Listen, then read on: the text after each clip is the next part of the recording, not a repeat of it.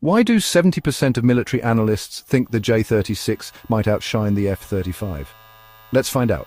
The Chengdu J-36, a sixth-generation Marvel from China, boasts a tailless design and three-engine layout, making it a stealthy beast in the skies.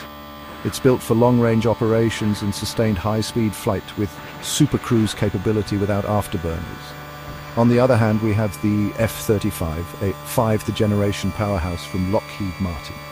With its advanced radar-evading design, single Pratt & Whitney F-135 engine and network-centric warfare capabilities, the F-35B variant even has VTOL capability.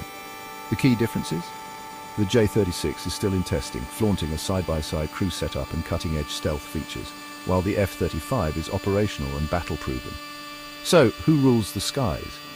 The J-36's advanced design signals a new era, but the F-35's proven capabilities keep it in the game.